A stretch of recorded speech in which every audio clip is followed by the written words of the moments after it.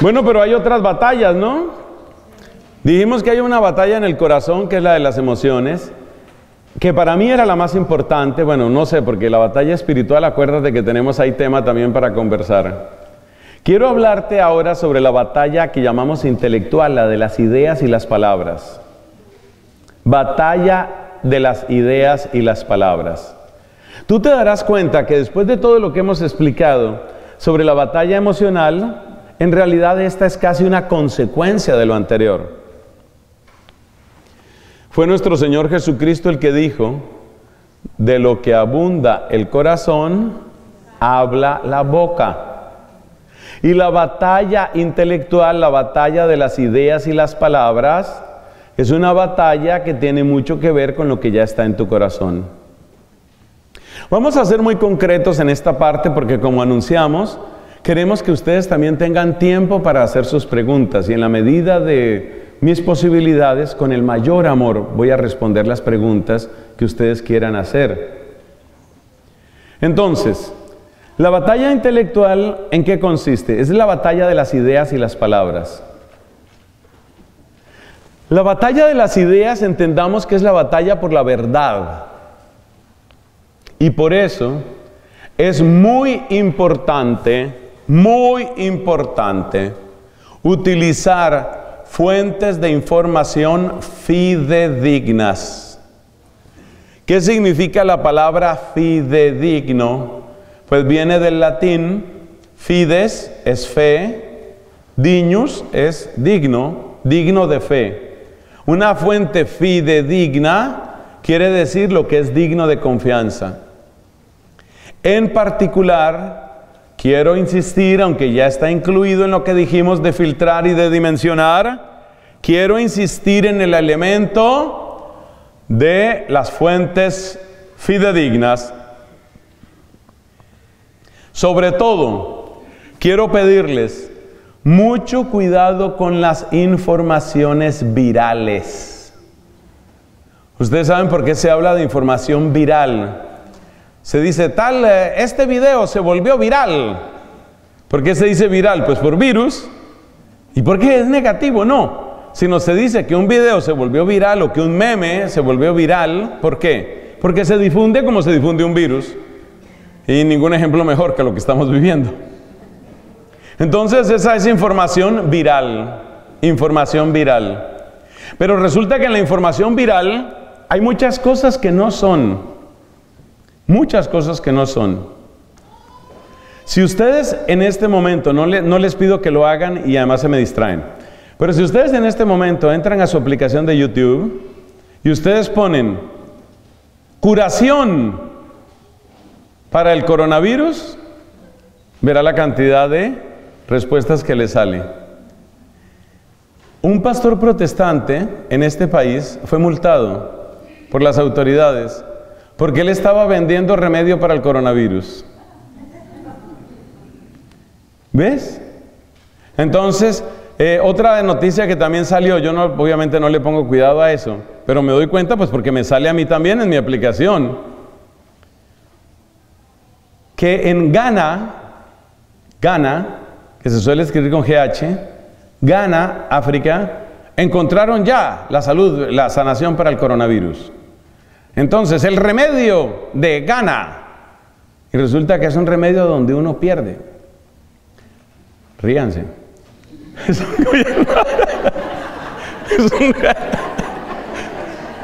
Los noto muy tensos. Están muy tensos los niños. Hombre, uno trayéndoles un poquito de alegría, hombre. No, pero lo de Ghana es serio. Es en serio que dicen que en Ghana encontraron el remedio para el coronavirus. Pero ya no voy a repetir el chiste. Es más, me voy a poner serio porque ya vi que ustedes no. Oiga.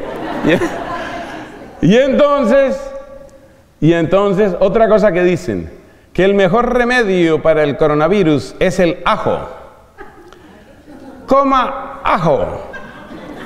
Ajo y ajo y mucho ajo. Entonces ya salió por allá un españolete chistoso y dice, claro, el ajo es buenísimo. Usted llena el cuerpo de ajo y no hay quien se le acerque, hermano. Entonces no se contamina. Otros dicen que el mejor remedio para el coronavirus es la política. ¿Por qué? Porque los políticos son los que mejor saben lavarse las manos. Bueno, chistes bobos. Oiga, entonces, ojo con esas teorías, unas chistosas, las chistosas se sabe que son chistosas, pero hay mucha, incluso negocio falso. Ustedes saben que YouTube tiene un sistema para dar dinero a los que producen material, eso se llama monetización.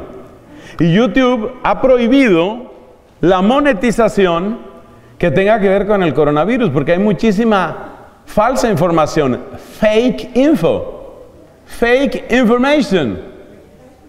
Una cantidad de gente repartiendo información. El remedio, ya tenemos el remedio para la epidemia. Y no es ningún remedio. Entonces, lo primero que hay que hacer para que tu mente, para que tu mente esté en buena salud y para ganar la batalla de las ideas es, yo no puedo estar poniendo cuidado a todo eso. Nosotros tenemos en Colombia un científico que lleva muchos años establecido aquí en Estados Unidos y para muchas personas es una autoridad.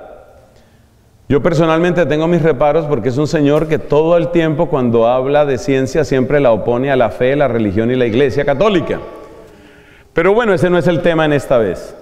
Ese hombre, ese doctor que es muy eminente, sobre todo en el campo de la neurología, se llama Rodolfo Ginás. Pues vieran ustedes en mi país, circula un video, pero es un video con foto estática de Rodolfo Ginás, y aparece un señor hablando. Ni siquiera es la voz de Rodolfo Ginás, pero es la voz de una persona mayor, porque ya este es un hombre que, no sé, estará cerca de los 70 años, 60, 70, una cosa así.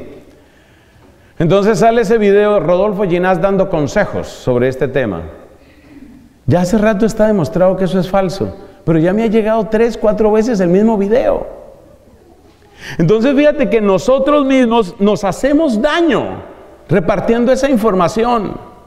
Por eso un consejo para tu mente y la mente de tus hijos, amigos, parientes. Un consejo es no divulgues información que no tenga fuente verificada. No divulgues información. Eso lo que hace es extender el pánico. Eso lo que hace es darle poder a los estafadores. Hay gente que está haciendo dinero con esta tragedia, es triste decirlo, pero en toda tragedia hay gente tratando de hacer dinero. No caigas en esa trampa, así no es. Entonces, el primer consejo con respecto a tu mente es verifica las fuentes y difunde poca información, poca poca y solamente fiable, lo que sea fidedigno, es lo único que hay que difundir. Y si ves que es necesario, a mí ya me han llegado en este momento, creo que me han llegado como unos 36 consejos sobre cómo lavarme las manos. Está bien que hay que lavarse las manos, que debe ser por lo menos 20, 30 segundos, que hay que utilizar suficiente jabón. Sí, todo eso sabemos. Pero llega un momento en el que hay una saturación, eso tampoco es necesario. Tú no tienes que pasar, tú no tienes que difundir, tú no tienes que multiplicar todo lo que te llegue. No es necesario. Para la salud mental tuya, para el combate mental, esto es indispensable. Segundo, segundo elemento muy importante para el combate mental. Asegúrate de no darle poder a la enfermedad con tus palabras. Es un error muy grave y lo está cometiendo mucha gente. Tú le das poder a la enfermedad con tus palabras. Si las usas mal, por supuesto. No le des poder a la enfermedad. No le des poder a la enfermedad.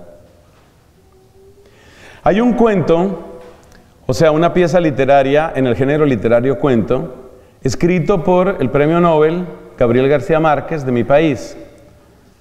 Gabriel García Márquez tiene una obra muy simpática que se llama En este pueblo va a suceder algo terrible.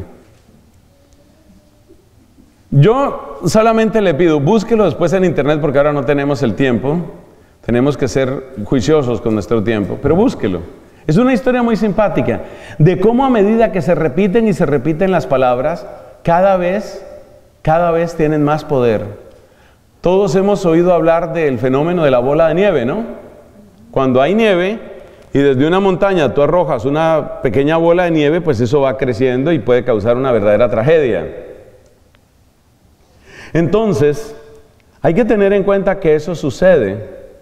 Hay que tener en cuenta que se extiende la información de esa manera. Por eso es muy importante que nosotros no le demos poder a las palabras, porque tú le puedes dar poder a las palabras sobre ti mismo, sobre ti misma. Ten cuidado con eso. Las personas que hablan mucho de ruina fácilmente caen en la ruina. No es algo mágico. Ya vamos a explicar cuál es el fenómeno que está detrás de esto. No es magia, no es superstición.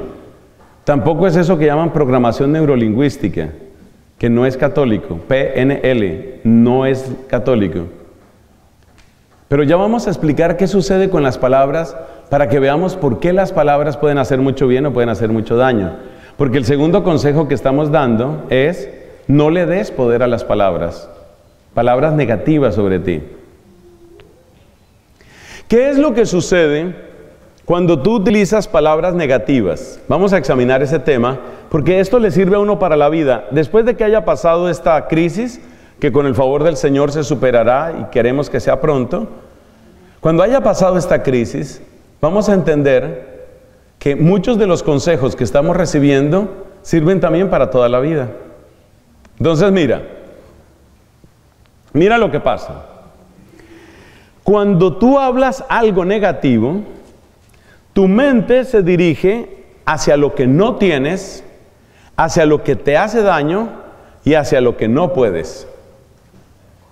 Supongamos que yo voy a hablar algo negativo de este lugar.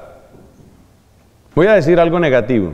Por ejemplo, estoy inventando en este mismo momento, esa puerta es muy delgada. Para una emergencia esa puerta es muy delgada muy angosta. Supongamos que estoy diciendo eso. Para decir esa frase, esa puerta es muy angosta, ¿qué he tenido que hacer? He tenido que prescindir de todo lo bueno que tiene lugar y he concentrado mi atención en qué? ¿En qué? En lo malo. En lo malo. Entonces, cada vez que tú hablas cosas negativas, educas a tu mente a que se fije en lo negativo, a que se fije en lo malo. ¿Y lo malo qué es? Lo que hace falta, lo que está dañado, lo que no funciona, lo que amenaza, lo que no me gusta. Cada vez concentras tu mente, o sea, en cierto sentido estás educando tu mente para que se concentre únicamente en lo negativo. ¿Por qué eso es perverso? Porque resulta que Dios quiere bendecir tu vida de muchas maneras.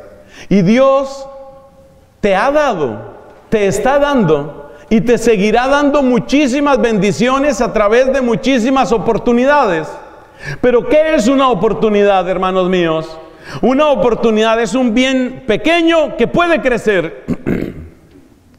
Esa es una oportunidad. Una definición bonita de lo que es una oportunidad es esa. ¿Qué es una oportunidad? Es un bien que por ahora es chiquito, pero que puede crecer. Entonces, si yo educo mi mente a que esté todo el tiempo buscando dónde está aquí lo malo, dónde está lo malo, lo malo, lo malo, malo, malo, malo, dónde está lo malo, no me gusta este lugar, no hay casi nada malo. Si yo estoy educando mi mente para buscar solamente lo malo, Quiere decir que estoy educando mi mente para que no vea qué? Lo bueno. ¿Y qué es una oportunidad? Es algo bueno que puede crecer. Entonces, cuanto más negativo se vuelve mi lenguaje, más ciego me vuelvo a las oportunidades. ¿Y qué pasa cuando yo me vuelvo ciego a las oportunidades? Que entonces mi situación no va a mejorar. Seguramente lo que va es a empeorar entonces, hablando cosas negativas, cada vez atraigo más las cosas negativas. Pero te repito, no es una ley del cosmos, como dicen algunos. No es una ley de la vida, no es una ley del cosmos, no, es simplemente un tema de ejercicio de tu propio conocimiento. Si tú entrenas a tu cerebro para que mire cosas negativas, pierde capacidad para reconocer oportunidades, porque las oportunidades finalmente que son cosas buenas que pueden crecer. Pero si tú no ves las cosas buenas, no ves las cosas buenas que pueden crecer. Y si no ves las cosas buenas que pueden crecer, no ves oportunidades. ¿Y qué le pasa a una persona que no ve oportunidades? Pues que entonces todo lo ve peor. Y por eso la persona va entrando como en una espiral de caída. Porque la persona está diciendo, pero qué mala suerte tengo yo, pero qué mal estoy. Qué cosa tan terrible. A mí todo, todo me sale mal. Todo me sale mal. Y cuanto más dices esas palabras, más cierras tus ojos a las bendiciones que Dios te envía. Y cuanto más dices esas palabras, más cierras tus ojos a las oportunidades. Entonces, el primer consejo para tu mente es fuentes fiables, fuentes fidedignas. El segundo consejo para tu mente es no le des poder al mal con tus palabras. Es lo mismo que sucede con el escándalo. ¿Qué es escandalizarse? Lo hemos mencionado muchas veces. Escandalizarse es tropezar. Literalmente, escandalizarse quiere decir eso, tropezar, tropezar con un obstáculo. Un escándalo es un, es un tropiezo. Entonces, ¿qué es escandalizarse? Es tropezar con un obstáculo, pero lo más grave no es eso. Lo más grave es que empiezas a alabar la fuerza del obstáculo. Qué cosa como está la juventud hoy en día. Oiga, pero qué cosa, cómo se ha dañado el matrimonio, pero cómo se ha dañado la política, pero cómo se ha dañado la naturaleza, cómo se ha dañado todo, todo está podrido, lo que no está podrido está picho, todo está dañado. Entonces fíjate que le vas dando cada vez más poder al mal. Yo utilizo una frase dramática, escandalizarse es darle alabanzas al mal. En la Suma Teológica de Santo Tomás de Aquino, en la segunda parte de la segunda parte, en la cuestión 43, artículo quinto, hasta me aprendí la, la referencia, Santo Tomás habla de este tema y dice, cuanto más firme está una persona en la fe, la esperanza y el amor, menos se escandaliza. O sea, uno ve el problema, pero no le da el tributo, ay, uy, ay, caramba, pero, pero, ¿qué cosa?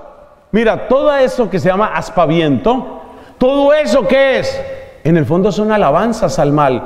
Oh, pero qué poderoso es el mal, pero cuántas cosas hace el mal. Oh, que logra el mal. Alabanzas, le estás dando alabanzas al mal.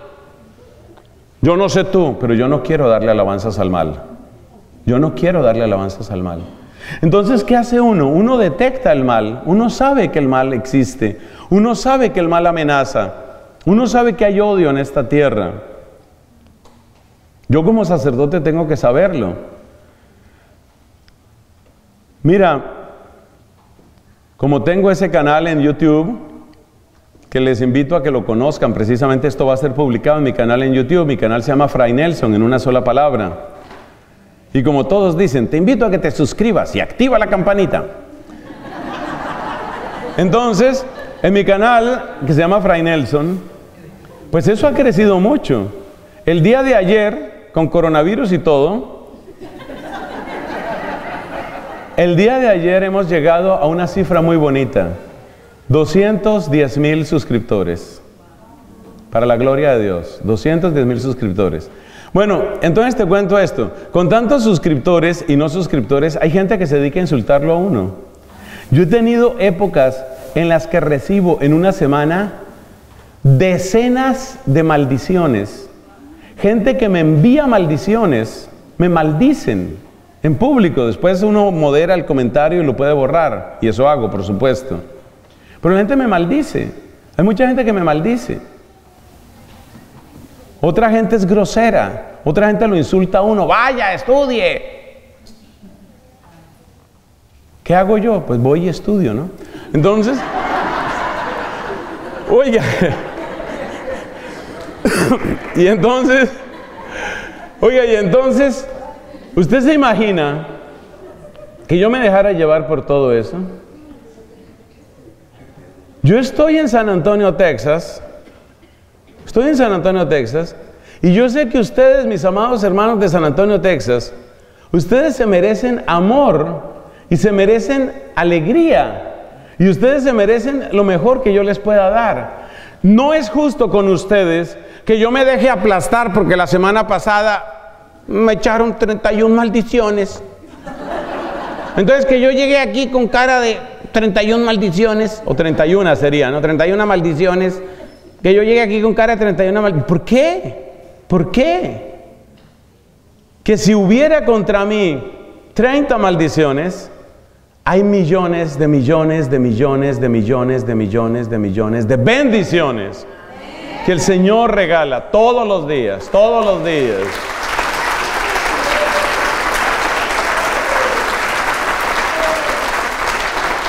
Mis amados hermanos, mis amados hermanos, es muy importante que nosotros hagamos este ejercicio. Ten cuidado con tus palabras. Ten cuidado con tus palabras. No te eches encima las palabras que no son, no son para ti. Cuida tus palabras. Te repito, no te dejes convencer de los que dicen, es una ley de la vida, es un secreto que ha sido ocultado por la Iglesia Católica. En el Vaticano no quieren que tú sepas este secreto. Ay, se inventan tanta cosa. No es ningún secreto misterioso, es simplemente se llama que tú estás entrenando tu cerebro y si tú entrenas tu cerebro para que vea lo negativo, lo negativo, lo negativo, lo negativo, no ve lo positivo y si no ve lo positivo no ve las oportunidades porque una oportunidad es algo positivo que está llamado a crecer. Vamos a dejar la parte intelectual ahí, entonces cuidar las palabras y verificar las fuentes. Pasemos a nuestro último tema, nuestro último tema por ahora, no pongan cara de contentos. Porque es que tenemos todavía otra charla. Yo no sé, pero yo, yo traje mi tema preparado. Tenemos que, todavía otra charla y esa otra charla se llama Las bendiciones en tiempo de crisis. Y esa tenemos que verla. Esa tenemos que verla. ¿Amén? Claro, claro. Entonces, hablemos del combate espiritual. Esta parte es un poquito dolorosa para mí. Les voy a ser sincero, esta parte es dolorosa para mí. ¿Sabes por qué te digo que es dolorosa? Mira, esta parte es dolorosa por una razón. Porque hay hermanos católicos que están implicados en esto.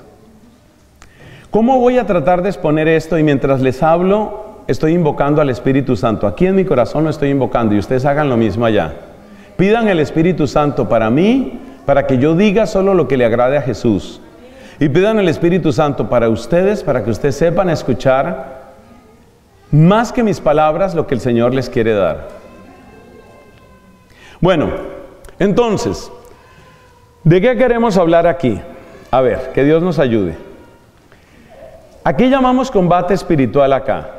Yo voy a explicarlo de esta manera. Voy a explicar primero la manera equivocada. ¿Cuál es la manera equivocada de hacer una lectura espiritual de estos fenómenos? Pero ya me equivoqué. ya me equivoqué porque dije la manera y no es la manera, son las maneras equivocadas. Vamos a ver maneras equivocadas de hacer una lectura espiritual de estos acontecimientos. Maneras equivocadas. Y luego vamos a ver maneras adecuadas o correctas. Primero las equivocadas, como para limpiar el terreno, y luego las maneras correctas de hacer una lectura espiritual de estos acontecimientos. Cuando lleguemos a la parte de las lecturas adecuadas o correctas, te darás cuenta que ese es el camino de las bendiciones que Dios quiere traer en medio de esta crisis. Entonces, vamos a hacer una lectura espiritual, ojo, lectura espiritual. Es decir, lectura en el orden teologal. ¿Qué es lo que Dios quiere con esto? ¿Qué combate está aquí en estos acontecimientos? Eso es lo que queremos ver. Pero primero miramos la parte equivocada y luego la parte correcta. Las maneras equivocadas son varias, de las cuales las más graves y que creo que siempre se presentan con estos acontecimientos son cuatro, cuatro maneras equivocadas. Cuando digo estos acontecimientos, ¿a qué me refiero? Me refiero, por ejemplo, a lo que sucede cuando hay un terremoto. Me refiero a lo que sucede cuando hay una epidemia, como ahora estamos viviendo. Me refiero a lo que sucede cuando hay un accidente y muere mucha gente. Esas son las situaciones graves en las que se dan maneras equivocadas de hacer una lectura espiritual o una lectura teológica de los acontecimientos. La primera, y en cierto sentido la más extendida de las maneras equivocadas de leer los acontecimientos, es mirarlo como un castigo de Dios. Este es un castigo de Dios. Por favor, por respeto en primer lugar a Dios y por respeto a las personas, no hablemos así. Es una lectura espiritual equivocada. Hablar de una tragedia como un castigo de Dios es algo no adecuado, es algo incorrecto. Sobre todo por una idea. A ver, la Sagrada Escritura nos dice algo muy importante en la carta a los Hebreos. Nos dice que Dios corrige, y eso incluye castigo, que Dios corrige a los que ama.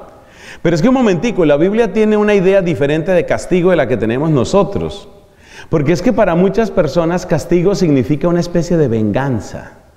Entonces, les voy a contar algunas cosas que me han llegado. Ustedes saben que cuando uno está un poquito activo en esto de Internet, uy, le llega de todo. Y con 210 mil suscriptores y no sé cuántos en Facebook y en Instagram y en todas estas cosas, a veces me siento sinceramente desbordado de información y muchas cosas a las que no puedo responder. Y tal vez no debo responder. Pero mira, entonces hay gente que dice, China se había endiosado. Ahí le cayó su virus. O sea, como quien dice, Dios dándole duro a esos chinos, duro, dale duro, para que no caigan en su autoidolatría. Otros dicen, se cometió pecado de idolatría dejando entrar la estatua de la Pachamama al Vaticano. El mismo Papa Francisco hubiera podido tomar una actitud mucho más clara, mucho más firme, no la tomó. Ahí le llegó, ahí le llegó, ahí lo tiene. ¿Qué imagen de Dios hay ahí, por favor? ¿Qué imagen de Dios hay ahí? Entonces, ¿cuál es la gran diferencia entre el castigo como lo menciona la Biblia? Porque la Biblia habla de castigo, ciertamente. En primer lugar nos dice que toda corrección de Dios es una corrección con amor.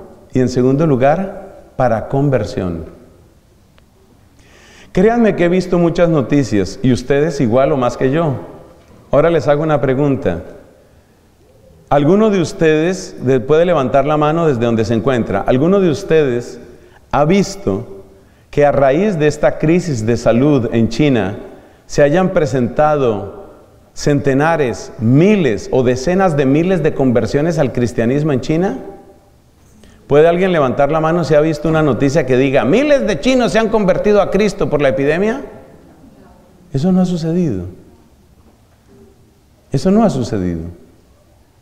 Entonces, cuando nosotros hablamos, por eso en la Biblia ciertamente se puede utilizar la palabra castigo, pero es mejor utilizar la palabra corrección. Dios corrige, más que castigar, corrige.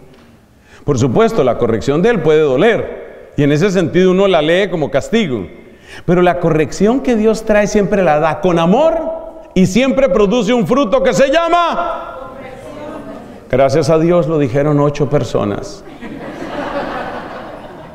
Repitamos, ¿por qué decimos que esto no debe ser catalogado como castigo de Dios? Respuesta, porque Dios más que castigar corrige y porque Dios corrige en primer lugar con amor Atención que esto está grabando, por favor, no queden mal. Entonces, Dios corrige con amor y corrige siempre para nuestra conversión. Para nuestra conversión.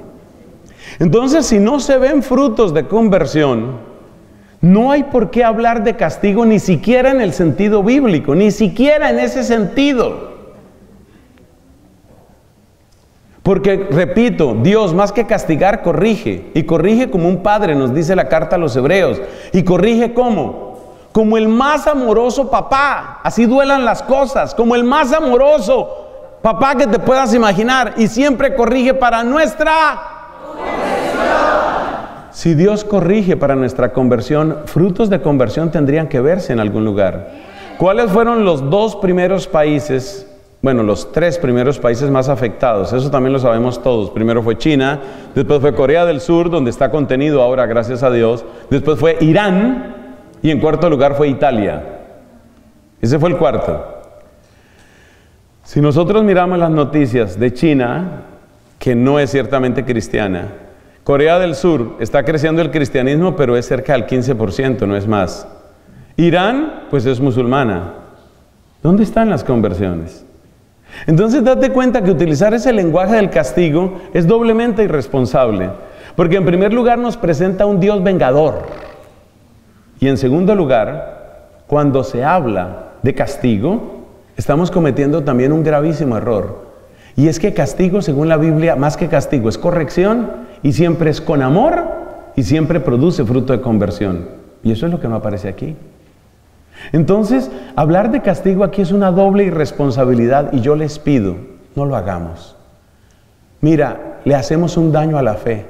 El daño que no le está haciendo el COVID-19, se lo hacemos nosotros si hablamos de castigo de Dios.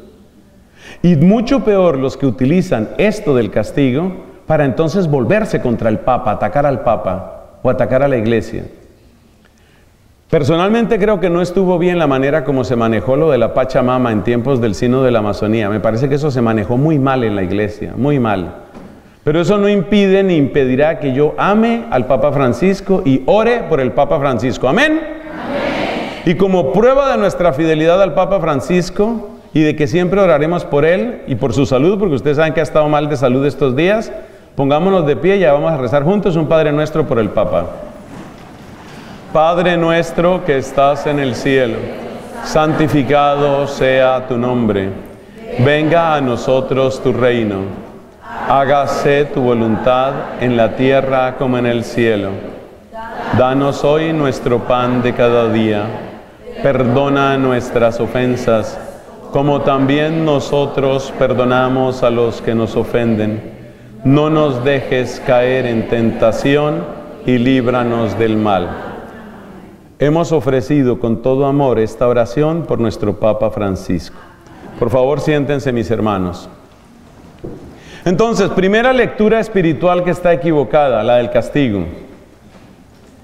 Segunda lectura espiritual que yo la veo equivocada, gravemente equivocada. Hay algunos que dicen, ataque del demonio. Este es un ataque del demonio. El demonio está logrando que se cierren las iglesias, el demonio está logrando que no se celebre la misa, el demonio contra la iglesia, el demonio está atacando. Debemos reconocer que esa manera de hablar le puede causar un impacto, sobre todo cuando, por ejemplo, en la arquidiócesis de San Antonio acabamos de recibir la noticia de que en su discernimiento Monseñor Gustavo ha dicho que pues la celebración pública de la Eucaristía queda suspendida efectivamente este fin de semana. Entonces hay gente que dice ataque del demonio. Bueno, yo te voy a decir una cosa. te voy a decir una cosa. Yo voy a cumplir este mes, de hecho, de hecho, el próximo sábado, con la bondad de Dios, voy a cumplir 28 años de sacerdocio, próximo sábado. ¿Eso qué implica? Eso implica que como ya habré regresado a mi país, los que quieran regalar algo, por favor, pronto tocan.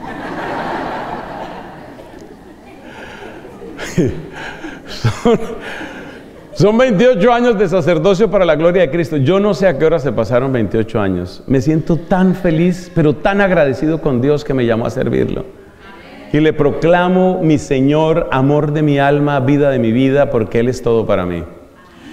Pero les quiero contar lo de los 28 años porque les quiero contar que yo he visto que muchas veces en los tiempos de crisis es donde se dan más confesiones, más conversiones, más oración, más oración.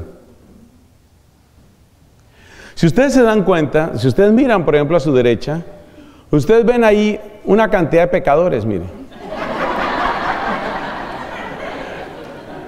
Si miran a su izquierda, ¿Cómo que no hay nadie? Mire allá atrásito. Otra fila de pecadores. ¿Y saben quién es el primero que debería estar ahí? Yo. Yo. Yo ya me he confesado en esta cuaresma, pero ciertamente no me cae mal recibir el santo sacramento de la confesión. Entonces, es un poco raro que la gente hable de que esto es del demonio cuando hay muchas personas que están orando y orando mucho. Mire, yo estoy emocionado. Yo pues he dirigido y dirijo una pequeña comunidad de oración, pero va creciendo, gloria a Dios, que se llama Familia Espiritual allá en Bogotá, Colombia. Las reuniones son los viernes. Yo no pude estar porque dije, debo ir a San Antonio. Ah, qué tiempo. Y entonces, y entonces, pues yo no estaba ayer allá, obviamente, porque estaba aquí. Y todavía, pues el Padre Pío no me ha concedido la bilocación, entonces me toca quedarme aquí. Pero yo seguí la transmisión por internet. Yo seguí la transmisión por internet. Ustedes vieran la gente alabando al Señor. Se reunieron a hacer adoración al Santísimo. Jóvenes. Pues a todos nos impacta eso. Dirigiendo oración. Y estaban orando no solo por el tema del virus, estaban orando por el fin del aborto. Estaban orando por la conversión de muchos corazones. A veces los jóvenes nos dan ejemplo. Tantos adultos obsesionados, el virus, el virus, el virus. Y hay jóvenes que están diciendo, un momento, muere más gente por aborto que por virus. Miren, los jóvenes nos están dando lecciones. Entonces, por favor, no caigamos en ese lenguaje tan simple de que no hay misa en público, pues. No hay misa en público. Ataque de Satanás. No caiga en eso. No caiga en eso. Nuestra Santa Iglesia Católica tiene su autoridad, que a veces uno entiende y a veces uno no entiende, estamos de acuerdo. Pero no caigamos en eso. Hay mucha gente que está orando. Yo he visto dos videos, ambos vienen de Italia y se han difundido mucho y ustedes habrán visto también. Hay uno de un padrecito, mayorcito él, que sale por las calles, le dio la vuelta a todo el perímetro de su parroquia con el Santísimo, pidiendo liberación por el coronavirus, del coronavirus. Eso es bellísimo. Y la gente publica comentarios de ese video por cientos y cientos y cientos. O sea, esto tiene también un fruto espiritual. Entonces, atribuirle todo esto a Satanás tiene un peligro muy grande. Y es que tal vez le estás dando la importancia a Satanás y no a Dios que es el que hace la obra, que es el que está convirtiendo corazones, que es el que nos está llamando a conversión. Entonces, por favor, no caigamos en eso, no caigamos en eso. Nosotros le damos la gloria a Jesucristo. Y nosotros entendemos que es verdad lo que dice Romanos 8:28. Todo sucede para el bien de los que Dios ama. Entonces, pero también que se cierren las iglesias, sí, sí. Pero ¿cómo va a decir eso, Padre? Lo voy a decir porque sé lo que estoy diciendo, porque tengo 28 años de sacerdocio y porque yo veo al pueblo de Dios y porque yo veo cómo la gente está orando. Y yo sé que no comete pecado el que no pueda asistir presencialmente por esta restricción, el que no pueda asistir presencialmente a la Santa Misa el domingo, como es el precepto y es santo, el que no pueda asistir porque hay ese mandato de nuestros legítimos pastores, no comete ningún pecado, por supuesto. Ningún pecado comete. Por supuesto, es bueno que sigas una transmisión por televisión o por internet, es, es, lo correcto, es lo que hay que hacer. Pero nadie quede con escrúpulo de que, ay, el obispo me mandó pecar. Nadie te ha mandado pecar. Me acuerdo un señor que escribió, yo veo los bares abiertos, yo veo todo abierto menos las iglesias. Al día siguiente, el gobierno de Italia mandó cerrar todos los bares y restaurantes. No sé si fue por lo que escribió ese señor. Hermanos, o sea, la gente de verdad, yo pienso, ¿sabes qué pienso? Que a veces nos ponemos tan nerviosos que uno nervioso dice hasta bobadas. Nos ponemos muy nerviosos. Entonces deja de decir que esto es obra del diablo. ¿Cuál obra del diablo? Aquí lo que hay es bendiciones para el que quiera recibirlas. Ahora ya les veo otra cara. Es que ustedes vieran la cara con la que llegaron. Como dicen ahora, parece que recién te hubieras bajado el crucero. Si saben lo que ha pasado con los cruceros, ¿no? Que esos retienen a la pobre gente, ay, me da un pesar, los retienen ahí días y días y días. Entonces por eso dicen, te bajaste con cara de crucero. Entonces, mis hermanos, error espiritual gravísimo es atribuir todo esto al diablo. No hagan eso. Que el diablo puede atacar más en estos días. Pues sí, pero es que hay días en que el diablo no quiere atacar. Todos los días nos ataca. Todos los días los ataca. Tengo unos amigos muy queridos de un otro grupo que se llama Jesús en ti confío, en la espiritualidad de Santa Faustina y de la misericordia. Un grupo muy bonito. Yo, yo amo a esa comunidad en Bucaramanga, Colombia. Y ellos también me mandaron otro video. Oiga, la gente postrada ante Jesús, pero postrados, adorándole. Entonces lo que tenemos es aprovechar bien el momento presente, vivir esto con fe. Y vamos a suponer que el diablo así con nombre propio. Vamos a suponer que el diablo quería, quería el diablo, quería lograr algo malo. Pues le vamos a dar una paliza al diablo entonces. El aplauso para Jesús. El aplauso para Jesús. Si acaso, si acaso el diablo quería, vamos a suponer que sí quería, pues le vamos a dar con el azote del rosario y de la adoración y de la conversión. Y se acabó el problema. Amén. Ese es el pueblo de Dios. Ese es el pueblo de Dios. Entonces, segunda interpretación. La primera interpretación equivocada es castigo de Dios. Segunda interpretación equivocada, ataque del demonio. Tercera interpretación equivocada. Algunos entonces dicen, Ahí está toda la cobardía de nuestros pastores. Ahí están nuestros obispos con su cobardía. Porque ponen restricciones. Ellos están recomendando que se reciba la Sagrada Comunión en la mano. En algunos lugares lo están mandando. Sobre eso hay toda una polémica. Hay gente que dice, no, yo jamás, jamás jamás recibiré la comunión en la mano. Mira, yo te digo una cosa. Yo voy a respetar siempre tu conciencia, pero quiero decirte que teológica y litúrgicamente, si tú recibes con humildad, con fe, con amor, con devoción la Sagrada Comunión en la mano, no hay ningún pecado. Y a mí me parece preferible que tú, con fe, con amor, con devoción, con cuidado, con humildad, con adoración, recibas la Sagrada Comunión en la mano a que te quedes sin comulgar. Donde se pueda, porque si no se puede, pues ni en la mano ni no en la mano, ¿no? Entonces, hay gente que toma lo de la comunión en la mano o lo de la restricción de las misas para atacar a los obispos, para caerle duro a los obispos. Es duro, es duro lo que está pasando, es muy duro. Pero te voy a contar una pequeña historia. Después de la Virgen María, pocas mujeres me han hecho tanto bien como una santa llamada Catalina, Santa Catalina de Siena. Ella vivió entre 1347 y 1380. Su vida tuvo solo 33 años.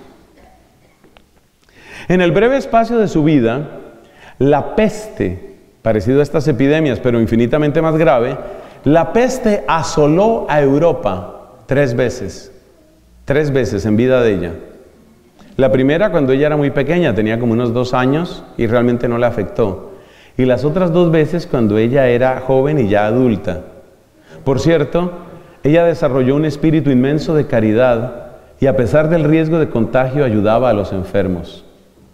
Bueno, ¿por qué te estoy contando de Santa Catalina? Porque en aquella época la iglesia no tomó las restricciones que nos están pidiendo ahora, como eso de que no se junten tantas personas y todas esas cosas, e incluso cierre de templos y todo eso tan doloroso. ¿Tú sabes lo que pasó en el siglo XIV? Te estoy hablando de historia de la iglesia y tú lo puedes consultar en cualquier manual serio. ¿Tú sabes lo que pasó en muchos conventos donde no restringieron nada? ¿Sabes lo que pasó? Hubo conventos en donde se murieron todos, así como te estoy diciendo. Esa es la realidad. ¿Y sabes lo que pasó después de que hubo conventos de religiosas, conventos y monasterios de hombres en donde murieron todos? ¿Tú sabes lo que pasó? Que por la necesidad de no perder esas propiedades y por tratar de atender a la gente, empezaron a recibir vocaciones sin el suficiente discernimiento. ¿Y sabes lo que eso trajo? Un declive espiritual bárbaro. La iglesia en el siglo XIV, y eso lo puedes leer tú donde quieras, que sea serio, la iglesia en el siglo XIV se fue a un abismo, a un abismo de pecado, de ignorancia, y una de las causas fue la peste. ¿Por qué?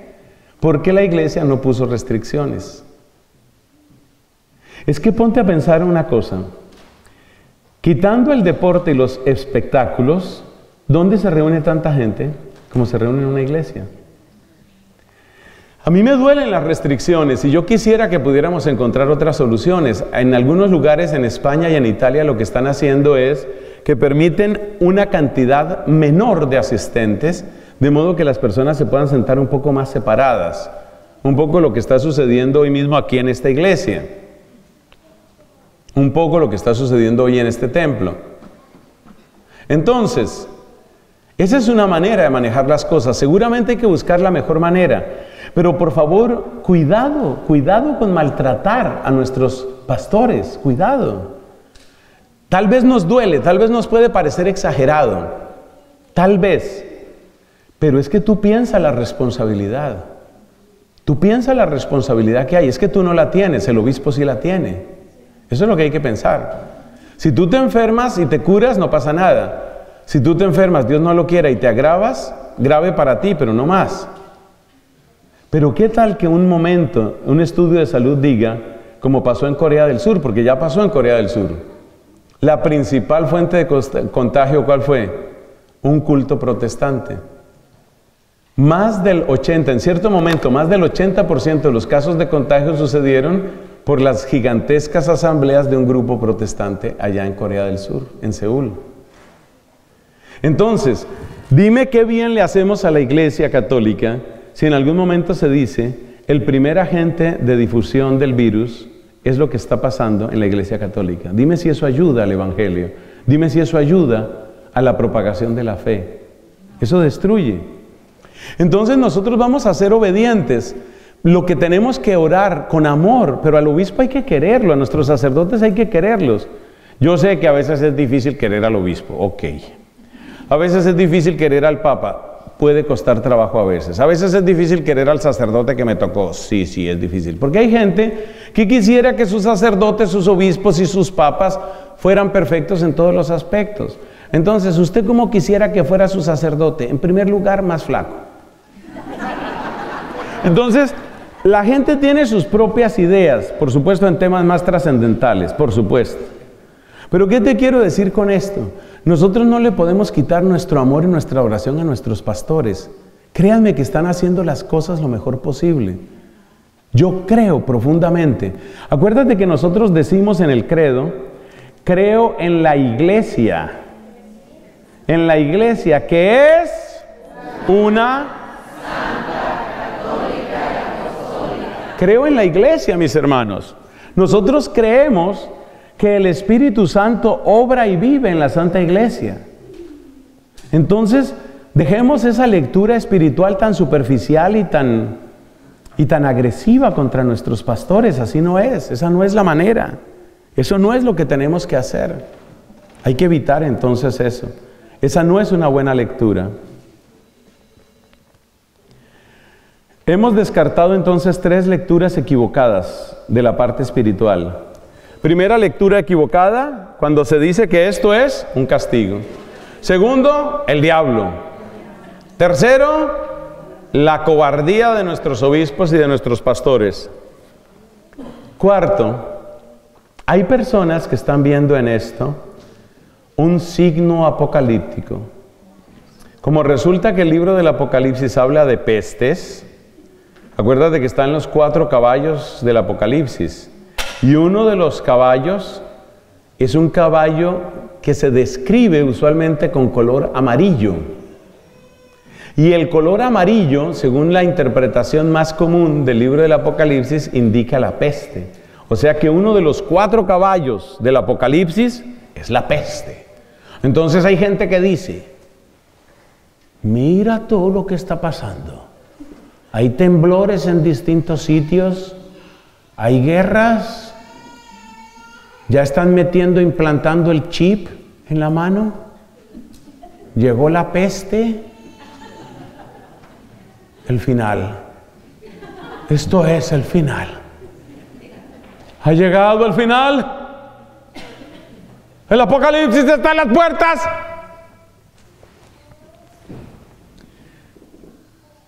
El país donde se ha decretado más el fin del mundo, en todo el mundo, se llama Estados Unidos.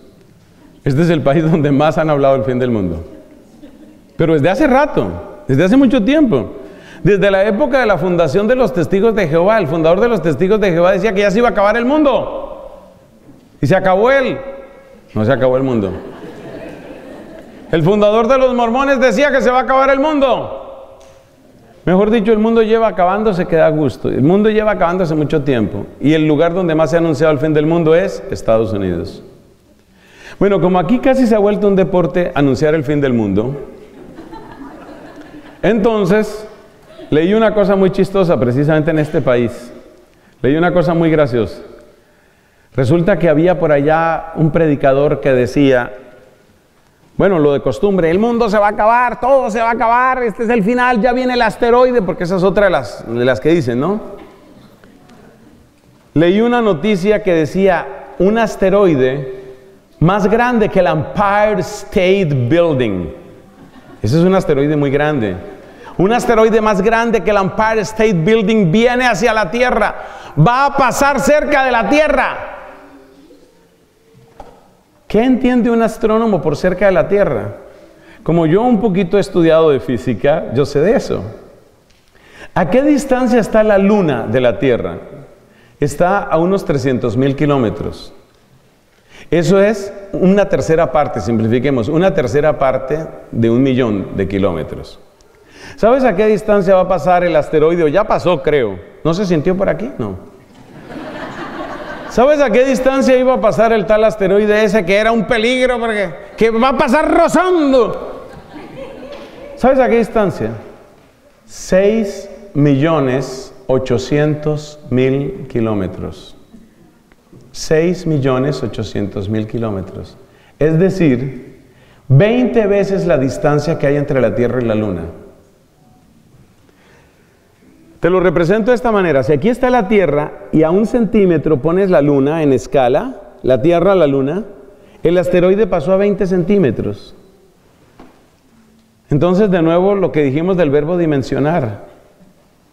Vale la pena que nosotros digamos, realmente ya casi nos pega. faltó nada para que nos pegara. Es que o sea, por favor, haz, el mapa, haz la construcción. La Tierra, a un centímetro pones la Luna y a 20 centímetros pones el asteroide que pasó. Entonces, eso es lo que concluyó la señora, lejísimos. Entonces, mis amados hermanos, nosotros no podemos caer en ese pánico apocalíptico. Además hay que tener en cuenta una cosa muy importante sobre esto del Apocalipsis. Y es que el Apocalipsis es un libro de salvación y es un libro de esperanza. No es un libro de pánico. Si una lección debe quedar clara del libro del Apocalipsis es que más allá de todas las crisis, de todas las pestes, de todas las catástrofes, de todos los cataclismos, Dios es Dios. Dios es Dios. Y Él salva a los suyos. Si hay un lenguaje que hay que tomar del Apocalipsis es ese. Entonces, ¿cuáles son las cuatro lecturas espirituales que considero equivocadas? A ver si me logro acordar. La primera es estar mirando esto como si fuera castigo de Dios. Y hay gente que dice, claro, ahí está lo de la Pachamama. Mis hermanos, yo critiqué, y con razones y de una manera mesurada, critiqué el tema de la Pachamama porque creo que se manejó muy mal en el Vaticano, muy, muy mal. Yo no estoy de acuerdo con lo que se hizo. Pero una cosa es eso y otra cosa es entrar en esta especie de paranoia y de decir que por la Pachamama sucede todo lo que sucede. No. Entonces lo de castigo de Dios, no. Lo de ataque del demonio, no. Y ya les dije, suponiendo que sea ataque del demonio, pues le vamos a dar una azotada de rosarios y de adoración al Santísimo. Tercero, los que hablan de cobardía a nuestros pastores. Tú no sabes lo que es estar al frente de una diócesis de cientos de miles de personas y saber lo que implican esas vidas. Por supuesto, mucho mejor hacen los obispos, sin quitar lo que hacen otros, que además de las medidas sanitarias, mandan a la gente a la oración y a las actividades que hay que hacer para que la crisis sea superada. Y cuarto, quitemos la actitud apocalíptica. Con esas advertencias, hagámonos la pregunta para cerrar esta reflexión, hagámonos la pregunta clave. Entonces, ¿cuál es una lectura espiritual conveniente? Cristo nos la enseña. Cristo es nuestro maestro, Él siempre nos enseña. A Cristo también le fueron a hablar de una tragedia. ¿Supiste Cristo lo que pasó? Que estaban construyendo una torre, esos eran los rascacielos de esa época, por ahí unas torres como de cuatro pisos, tres, cuatro pisos serían. Estaban haciendo una torre y se cayó la torre esa. Y se murieron 18. 18. 18. Se murieron 18, Jesús. Tragedia, Jesús. Y Jesús dice, ¿y ustedes creen que esos eran más pecadores que otros? Conviértanse o si no les va a pasar a todo lo mismo. ¿Qué nos está diciendo Jesús ahí? Nos está diciendo Jesús que nosotros debemos ver todo acontecimiento como un llamado a la conversión. Porque nos puede pasar a cualquiera de nosotros. Como yo viajo tanto en avión, quería venirme en barco a San Antonio, pero y hubiera llegado después de la epidemia, pero bueno. A mí me duelen mucho los accidentes de avión. Ustedes vieron lo que pasó con el avión ucraniano que iba saliendo de Irán y lo derribaron con dos misiles. Una cosa de esas, una falla, la falla del 737 MAX, eso me podría pasar a mí. A mí me podría pasar. ¿Por qué no? Y se acabó la vida del Padrecito sobre esta tierra. Con el favor de Cristo, para vivir con Él por toda la eternidad, pero se acabó la vida sobre esta tierra. Entonces, Jesús, ¿qué nos quiere decir con esto? Jesús, ¿qué nos dice con esto? Tomen todo acontecimiento como un llamado, ¿a qué? Como un llamado a la conversión. ¿Y eso qué significa? Hombre, hay que reflexionar, hay que darse cuenta que la vida humana es frágil. Si nos da el tiempo, que espero que sí, vamos a tener toda una reflexión sobre las bendiciones que traen estos tiempos de crisis. Entonces sí, hay que reflexionar, ciertamente hay que reflexionar. Eso está claro. Y, movernos a conversión. Segundo, es muy importante, y nos lo dijo el Papa Francisco, que el miedo no paralice la caridad. Él nos habló, Francisco nos habló, fue una de las razones para que yo no interrumpiera esta misión. Se lo deben al Papa. Porque Francisco nos habló a los sacerdotes, nos habló en público y dijo, no se olviden de los que están en necesidad. No se olviden de los enfermos. El miedo no puede paralizar a la caridad. Y desde aquí quiero expresar mi cariño y mi oración por los sacerdotes que en este momento están confesando. Si tú le preguntas a cualquier epidemiólogo, especialista en epidemias, tú le preguntas si lo que están haciendo ellos los pone en riesgo, te van a decir, sí, se están poniendo en riesgo. Esos son nuestros sacerdotes. Esos son nuestros sacerdotes. Ese es Cristo sacerdote, dándonos amor, dándonos vida. Como están aislados por esos vidrios no nos van a oír, pero démosles un aplauso a los sacerdotes.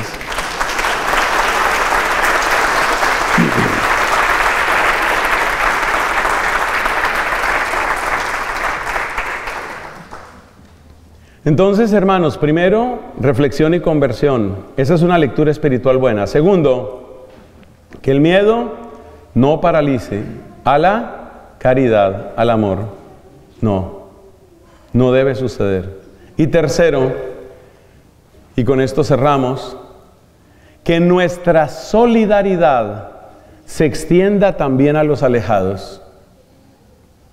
Uno no piensa mucho en las personas de Irán, uno no piensa mucho en la gente tal vez, bueno, está un poquito lejos de aquí, Brasil, por decir algo, Corea del Sur, la misma Italia.